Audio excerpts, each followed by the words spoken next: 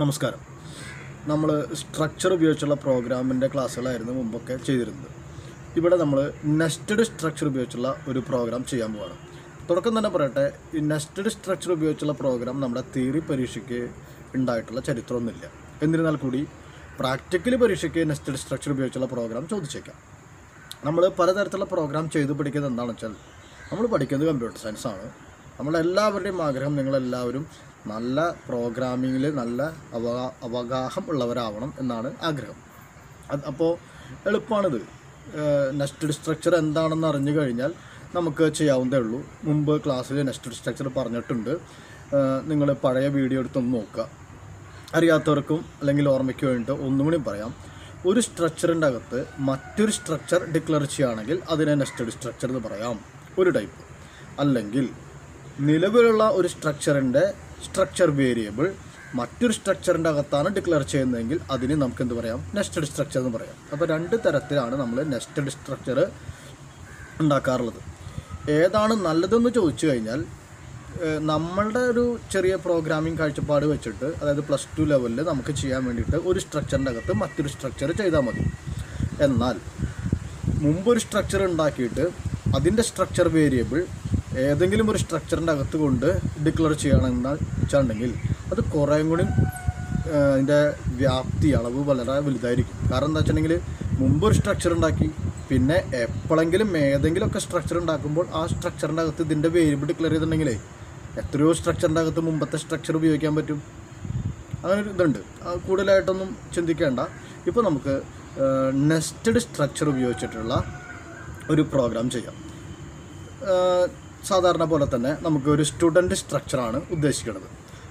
അതിൽ സ്റ്റുഡന്റ് ഇൻപുട്ടായിട്ട് നൽകേണ്ട കാര്യങ്ങൾ എന്തൊക്കെയാണെന്ന് വെച്ചിട്ടുണ്ടെങ്കിൽ സ്റ്റുഡന്റിന്റെ രജിസ്റ്റർ നമ്പർ പിന്നെ അയാളുടെ പേര് പിന്നെ മാർക്ക് ഇത് മൂന്നാണ് ചെയ്യേണ്ടത്.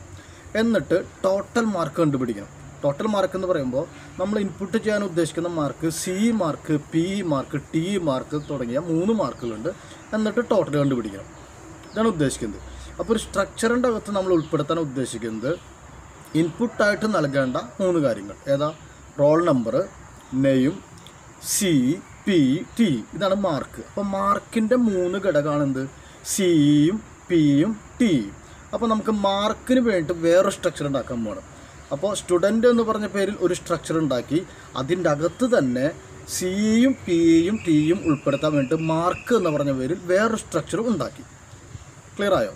സ്റ്റുഡന്റ് എന്ന് പറഞ്ഞ സ്ട്രക്ചർ അതിന്റെ സ്ട്രക്ചർ വേരിയബിൾസ് ആയിട്ട് സ്ട്രക്ചർ മെമ്പേഴ്സായിട്ട് നെയിമും അതുപോലെ തന്നെ റോൾ നമ്പറും എന്നിട്ട് അതിന്റെ അകത്ത് മറ്റൊരു സ്ട്രക്ചർ മെമ്പറായിട്ട് വേറൊരു സ്ട്രക്ചർ ഏത്? മാർക്ക് എന്ന് പറഞ്ഞ സ്ട്രക്ചർ ആ മാർക്ക് എന്ന് പറഞ്ഞ സ്ട്രക്ചറിന്റെ അകത്ത് സി പി ടി മനസ്സിലായോ? ഇത് ഇൻപുട്ടായിട്ട് ഇത് ഇങ്ങനെ ഒരു സ്ട്രക്ചർ ഉണ്ടാകും. എന്നിട്ട് നമ്മൾ എന്ത് ചെയ്യും? ടോട്ടൽ മാർക്ക് കണ്ടുപിടിക്കും. ഇതാണ് നമ്മളുടെ പ്രോഗ്രാമിന്റെ ഉദ്ദേശം. നമുക്ക് നോക്കാം എങ്ങനെ ചെയ്യാൻ പറ്റുന്നു. എളുപ്പമാണ് നമ്മൾ നേരത്തെ പറഞ്ഞ പ്രോഗ്രാമിനെ ഒരു ഡെമോൺസ്ട്രേഷൻ വഴി നമ്മളൊന്ന് പരിചയപ്പെടുകയാണ്. നോക്കൂ. ഇതാണ് നമ്മൾ നേരത്തെ പറഞ്ഞ സ്റ്റുഡന്റ് പ്രോഗ്രാമിന്റെ ഒരു ഡെമോൺസ്ട്രേഷൻ അതായത് നെസ്റ്റഡ് സ്ട്രക്ചർ ഉപയോഗിച്ചുള്ള പ്രോഗ്രാമിന്റെ ഒരു ഡെമോൺസ്ട്രേഷനാണിത് ഇതാണ് നമ്മളുടെ മൊത്തത്തിലുള്ള സ്റ്റുഡന്റ് എന്ന് പേരായിട്ടുള്ള സ്ട്രക്ചർ മൊത്തം സ്റ്റുഡന്റ് എന്ന് പേരായിട്ടുള്ള സ്ട്രക്ചർ അതിന്റെ ആദ്യത്തെ മെമ്പർ ആരാണ്? ആദ്യത്തെ മെമ്പറാണ് രജിസ്റ്റർ നമ്പർ രണ്ടാമത്തെ മെമ്പർ നെയ്യും മൂന്നാമത്തെ മെമ്പറാണ് മാർക്ക് എന്ന് പറയുന്നത്. ഇവിടെ മാർക്ക് എന്ന് പറയുന്നത് itself a structure mark എന്ന് പറയുന്നത് ഒരു സ്ട്രക്ചറായിട്ട് കണക്കാക്കുക. അപ്പോൾ അതിന്റെ ആദ്യത്തെ മെമ്പറാണ് സി ഇതിന് പിന്നത്തെ മെമ്പറാണ് പി പിന്നത്തെ മെമ്പറാണ് മെമ്പറാണ് ടി എന്ന് പറയുന്നത്. ക്ലിയർ ആയോ? അപ്പോൾ ഇതൊരു നെസ്റ്റഡ് സ്ട്രക്ചർ സ്റ്റുഡന്റ് എന്ന് പറഞ്ഞ സ്ട്രക്ചർ അതിന്റെ അകത്തുള്ള ഇന്നർ സ്ട്രക്ചർ മാർക്ക് ആ മാർക്കിന്റെ members C E P T ഇനി ഇതിൽ ഓരോന്നിലേക്കും നമ്മൾ എന്ത് ചെയ്യും? മെമ്പർ രജിസ്റ്റർ നമ്പറിലേക്ക് ഇൻപുട്ട് ചെയ്യും.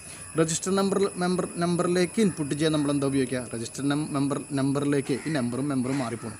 രജിസ്റ്റർ നമ്പറിലേക്ക് നമ്മൾ ഇൻപുട്ട് ചെയ്യാൻ വേണ്ടി സ്റ്റുഡന്റ് എന്നുള്ള സ്ട്രക്ചറിന്റെ ഒരു വേരിയബിൾ ഉണ്ടാക്കണം. സ്റ്റുഡന്റ് എന്ന് പറഞ്ഞ സ്ട്രക്ചറിന്റെ വേരിയബിൾ എസ് എന്ന് പറഞ്ഞ പേരിലാണ് നമ്മൾ സ്റ്റുഡന്റ് എന്ന് പറഞ്ഞ സ്ട്രക്ചറിന്റെ വേരിയബിൾ ഉണ്ടാക്കാൻ പോണത്. അപ്പോൾ ഇൻപുട്ട് ചെയ്യുക എങ്ങനെയാണ് ഇൻ എന്ന് എഴുതിയിട്ട് S dot R E G N ഒന്ന് എഴുതണം. അതുപോലെ അടുത്ത നെയിമാണ് അപ്പോൾ നമ്മൾ ഇൻപുട്ട് ചെയ്യാൻ എന്ത് ചെയ്യണം? C in S dot name എന്ന് എഴുതണം.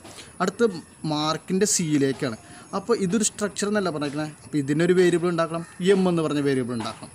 അപ്പോൾ ഇതിലേക്ക് ഇൻപുട്ട് ചെയ്യാൻ വേണ്ടി എസ് എന്ന് പറഞ്ഞ വേരിയബിളിന്റെ അതിന്റെ അകത്തുള്ള എം എന്ന് പറഞ്ഞ വേരിയബിളിന്റെ സിയിലേക്കാണ് ക്ലിയർ ആയോ? സ്റ്റുഡന്റിന്റെ എസ് മാർക്കിന്റെ എം വേരിയബിൾ എടുക്കുകയാണ് അപ്പോൾ cin S dot M dot C E cin S dot S dot M dot P E അത് കഴിഞ്ഞാൽ cin S dot M dot T E മൂന്ന് എടുക്കുക. എന്നിട്ടാണ് നമ്മൾ ടോട്ടൽ കണ്ടുപിടിക്കാൻ പോണത്. ക്ലിയർ ആയോ അപ്പോൾ ഈ നെസ്റ്റഡ് സ്ട്രക്ചറിന്റെ കാര്യം ഒന്ന് ഓർമ്മയിൽ നിൽക്കാനേ ഈ ഈ ബോക്സിന്റെ ഡെമോൺസ്ട്രേഷൻ ശ്രദ്ധിക്കൂ. കണ്ടോ? ഇതൊന്ന് മനസ്സിൽ പകർത്തി കഴിഞ്ഞിട്ടുണ്ടെങ്കിൽ നമുക്ക് എളുപ്പത്തിൽ ഇതൊന്ന് ഓർമ്മയിൽ കിട്ടും. പിന്നെ ഒരു സിമ്പിളാണ് പ്രോഗ്രാമിംഗ് ഒക്കെ. അത് കോഡ് എഴുതുമ്പോൾ ഒന്നുകൂടി പറഞ്ഞു തരാം വിശദമാക്കാം. ഇപ്പോൾ ഡെമോൺസ്ട്രേഷൻ നോക്കൂ.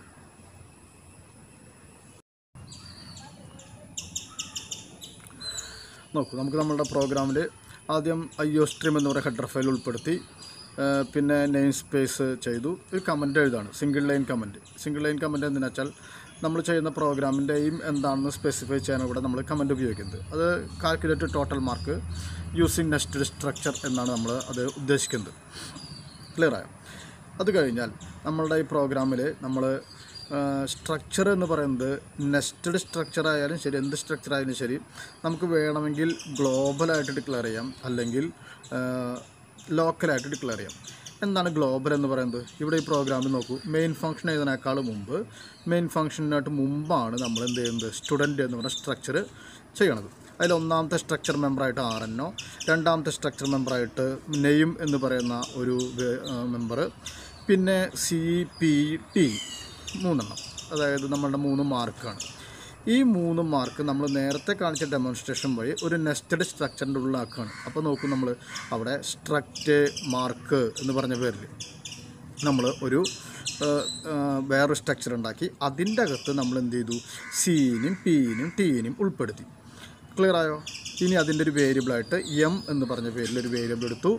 നമ്മുടെ സ്റ്റുഡന്റ് എന്ന് പറഞ്ഞ സ്ട്രക്ചർ അവസാനിപ്പിച്ചു. സ്റ്റുഡന്റ് എന്ന് പറഞ്ഞ സ്ട്രക്ചർ അവസാനിപ്പിക്കുമ്പോൾ നോക്കൂ അതിന്റെ വേരിയബിൾ നമ്മൾ അവിടെ എടുത്തിട്ടില്ല കേട്ടോ. അപ്പോൾ ഒരു ഗ്ലോബൽ വേരിയബിളാണ് എടുത്തോണ്ടും തെറ്റില്ല. ഇനി മെയിൻ തുടങ്ങിയപ്പോൾ മെയിന്റെ അകത്ത് നമ്മൾ കണ്ടുപിടിക്കാൻ ഉദ്ദേശിക്കുന്നത് എന്താ? ടോട്ടൽ മാർക്കല്ല കണ്ടുപിടിക്കാൻ ഉദ്ദേശിക്കുന്നത്? അതിന് വേണ്ടി ഒരു വേരിയബിൾ എടുത്തു. ടോട്ട് എന്ന് പറഞ്ഞ വേരിയബിൾ എടുത്തു. അത് അതിന്റെ ഇനിഷ്യൽ വാല്യൂ സീറോ കൊടുത്തു. ഇനിഷ്യൽ വാല്യൂ സീറോ കൊടുക്കാൻ കാരണം എന്താ വെച്ചിട്ടുണ്ടെങ്കിൽ ഗാർബേജ് വാല്യൂ ഇല്ലാണ്ടിരിക്കാനാണ്. ഗാർബേജ് വാല്യൂ എന്ന് പറഞ്ഞു കഴിഞ്ഞാൽ നമ്മൾ കൊടുത്തിട്ടില്ലെങ്കിൽ അവിടെ തോന്നിയ വില കമ്പൈലർ പ്രൊവൈഡ് ചെയ്യും. അത്രയേ ഉള്ളൂ. ഇനി നമ്മൾ റോൾ നമ്പറും നെയിമും ഇൻപുട്ട് ചെയ്യാൻ പറഞ്ഞു. റോൾ നമ്പറും നെയിമും ഇൻപുട്ട് ചെയ്യാൻ പോകുമ്പോൾ സീൻ എന്താ വേണ്ടത്? സീൻ എന്ന് എഴുതിയിട്ട് നമ്മൾ വെറുതെ ആർ എൻ ഒ എന്ന് എഴുതിയാൽ മതിയോ? ഇപ്പോൾ ഒരൊറ്റ സ്റ്റേറ്റ്മെന്റ് ആയിട്ട് cin R N O name എന്ന് എഴുതിയപ്പോൾ അവിടെ പ്രശ്നം എന്താ വെച്ചിട്ടുണ്ടെങ്കിൽ പ്രശ്നം എന്താ വെച്ചിട്ടുണ്ടെങ്കിൽ കാസ്കേഡിംഗ് ആണ് അത്. രണ്ടും ഒരെണ്ണത്തിൽ കൊടുക്കൽ അപ്പോൾ നമ്മൾ സ്റ്റുഡന്റിന്റെ എസ് എന്ന് പറഞ്ഞ ഒരു വേരിയബിൾ ഉണ്ടാക്കി. കാരണം എന്താ? ആർ എൻ ഒയും നെയിമും കിടക്കുന്നത് എന്തിന്റെ അകത്താണ്? സ്റ്റുഡന്റിന്റെ അകത്താണ്. സ്റ്റുഡന്റിന്റെ വേരിയബിളാണ് എസ് ആ വേരിയബിൾ ഉപയോഗിച്ച് നമുക്ക് എസ് ചെയ്യാൻ പറ്റുള്ളൂ. ഒരു സ്ട്രക്ചർ മെമ്പറിനെ ആക്സസ് ചെയ്യാൻ സ്ട്രക്ചർ വേരിയബിൾ ഉപയോഗിച്ച് ഡോട്ട് ഓപ്പറേറ്റർ ഉപയോഗിച്ച് മാത്രമേ പറ്റുള്ളൂ. അപ്പോൾ നമ്മൾ S dot cin S dot R N O അതുപോലെ എസ് ഡോട്ട് നെയിം കൊടുത്തു. ഇനി എന്താ ചെയ്യേണ്ടത് നമുക്ക്? നമ്മൾ മാർക്ക് ആയിട്ടുള്ളത് ഇൻപുട്ട് ചെയ്യാൻ പോകണം ഇൻപുട്ട് എന്ന് പറഞ്ഞിട്ട് cout input C P T ഇത് മൂന്നും കൊടുക്കുകയാണ് മൂന്നും നമ്മൾ സ്റ്റേറ്റ്മെന്റ് എഴുതി ഇനി നമ്മൾ ഇൻപുട്ട് ചെയ്യാൻ C in C P T അങ്ങനെ കൊടുക്കാൻ പറ്റും നമുക്ക്?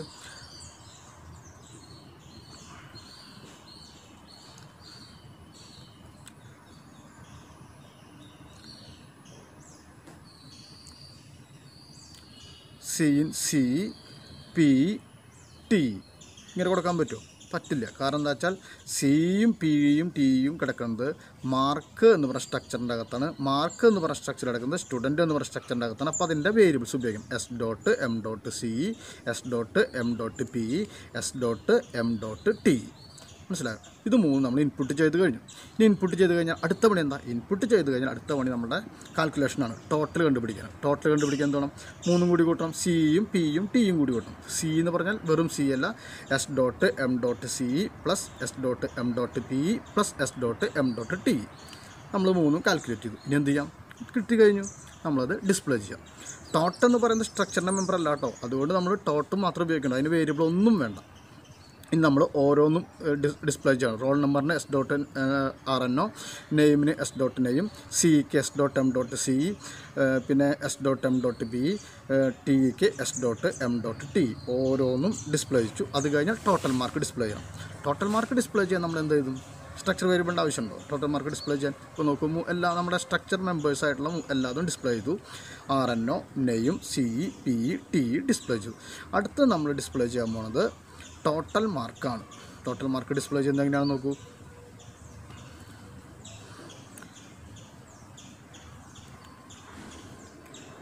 ടോട്ടൽ എന്ന് എഴുതി സ്ലാഷ് ഇട്ടത് കുറച്ച് സ്പേസ് ടാബ് സ്പേസ് കിട്ടാൻ.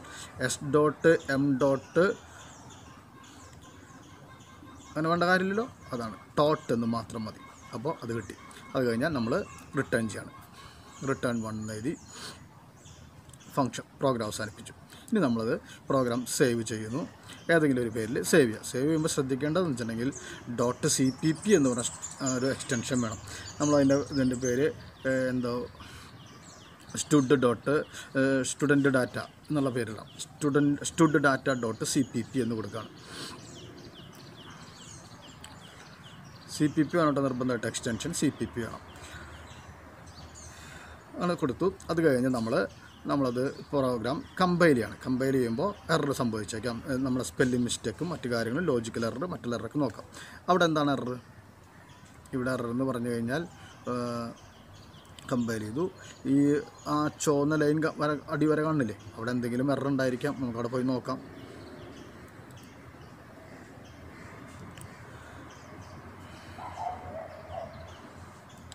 ആ ലൈനിലോ അല്ലെങ്കിൽ അതിന്റെ തൊട്ട് മുമ്പിലൊക്കെ ഉണ്ടാവാം. നമ്മൾ അങ്ങനെയാണ് അതൊരു ഡീബഗ് ചെയ്യുക തൊട്ട് മുകളിൽ നോക്കൂ സെമിക്കോളം കൊടുത്തില്ല ഒരു സിൻഡാക്സ് എറർ അല്ലേ?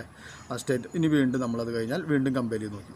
അപ്പോൾ എന്തെങ്കിലും എറർ ഉണ്ടോ? ഇല്ല. പ്രോഗ്രാം സക്സസ്ഫുൾ ആയിട്ട് കമ്പയർ ചെയ്തു. അത് കഴിഞ്ഞാൽ ബിൽഡ് ചെയ്യുന്നു. ക്ലിയർ ആയിട്ട് നോക്കി മനസ്സിലാക്കട്ടോ പ്രോഗ്രാമിന്റെ ഓരോ സ്റ്റെപ്പ്. എക്സിക്യൂട്ട് ചെയ്തു. എക്സിക്യൂട്ട് ചെയ്യുമ്പോൾ ഇനി ഇൻപുട്ട് കൊടുക്കുകയാണ് ഫസ്റ്റ് പറയുന്നത് ആർ എൻ ഒയും നെയിമും കൊടുക്കാൻ പറഞ്ഞു. എക്സാമ്പിളായിട്ട് നൂറ്റി ഇരുപത്തി മൂന്ന് പേരായിട്ട് സുദർശൻ എന്റെ കൂട്ടുകാരനാണ്. അപ്പോൾ ആളുടെ പേരും കൊടുത്തു. അപ്പോൾ ഇത് കഴിഞ്ഞു. ഇനി നമ്മളോട് സി മാർക്ക് കൊടുക്കുമ്പോൾ സി മാർക്ക് കൊടുത്തു ഇരുപത് സി മാർക്ക് കൊടുത്തു. അത് കഴിഞ്ഞാൽ ടി മാർക്ക് അത് നാൽപ്പതും കൊടുത്തു. അല്ല പി മാർക്ക് കൊടുത്തു കഴിഞ്ഞാൽ ടി മാർക്ക് അറുപതും കൊടുത്തു. ഇതാ ഇതാണ് ഔട്ട്പുട്ട് ഇതാണ് നമ്മൾ ആഗ്രഹിക്കുന്ന പ്രോഗ്രാം ഇങ്ങനെ ഒരു കൺസെപ്റ്റ് കിട്ടിക്കഴിഞ്ഞാൽ നമുക്ക് എന്ത് ചെയ്യാൻ പറ്റും? കുറേയേറെ പ്രോഗ്രാമുകൾ നമുക്ക് സ്വന്തമായിട്ട് ഉണ്ടാക്കി ചെയ്യാൻ പറ്റും. നമ്മുടെ ഹോംവർക്ക് തരുന്ന പ്രോഗ്രാമിൽ ഉണ്ട്. അത് നമുക്ക് തന്നെ ചെയ്യാൻ പറ്റും. ഇവിടെ സി പി ടിക്ക് പകരം വേറെ എന്തൊക്കെയോ കൊടുക്കണം. അത്രയേ ഉള്ളൂ വ്യത്യാസം. ശരി. അപ്പോൾ പ്രോഗ്രാം നന്നായല്ലോ?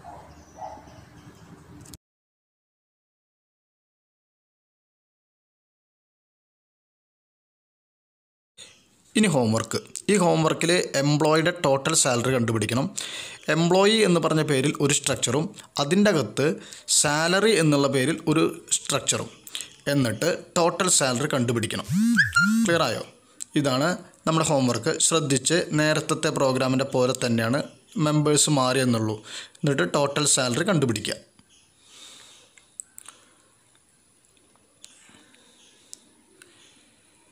ഇനി ഒരു അസൈൻമെന്റ് ആണ് ഇവിടെ രണ്ട് സ്ട്രക്ചർ ഉണ്ട്. കോംപ്ലക്സ് വൺ എന്നും കോംപ്ലക്സ് ടു എന്ന് പറഞ്ഞ സ്ട്രക്ചർ ഉണ്ട്. ഇത് രണ്ട് സ്റ്റേറ്റ്മെന്റ് ഉണ്ട്. അതിൽ ഒരെണ്ണം ഇൻവാലിഡ് ആണ്. കാരണം കണ്ടുപിടിക്കുക. ചെയ്യുക. സി വൺ അസൈന്റെ സി ടു എന്നുള്ള സ്റ്റേറ്റ്മെന്റ് ഉണ്ട്. സി വൺ അസൈന്റെ സി ത്രീ എന്നുള്ള സ്റ്റേറ്റ്മെന്റ് ഉണ്ട്. ഇതിൽ ഒരെണ്ണം ഇൻവാലിഡ് ആണ്. എന്തുകൊണ്ടാണെന്ന് കാരണസഹിതം പ്രൂവ് ചെയ്യണം. ഇപ്പോൾ നമ്മളുടെ സ്ട്രക്ചർ എന്ന് പറഞ്ഞ ഭാഗത്തിലെ നാല് ഭാഗങ്ങൾ കഴിഞ്ഞിട്ടുണ്ട്. ഇനി ഒരു ഭാഗം കൂടി എടുത്തു കഴിഞ്ഞാൽ നമുക്ക് സ്ട്രക്ചർ കംപ്ലീറ്റ് ചെയ്യാം. അതിനുശേഷം നമുക്ക് പോയിന്റർ തുടങ്ങാം. വളരെ സ്ലോവിലാണ് പറയുന്നത്. അഞ്ച് ഭാഗത്തോടുകൂടി സ്ട്രക്ചർ അവസാനിപ്പിക്കാം. അടുത്ത ക്ലാസ്സിൽ അടുത്തതിന്റെ പിന്നത്തെ ക്ലാസ്സിൽ നമുക്ക് പോയിന്റർ ആരംഭിക്കാം. ശരി.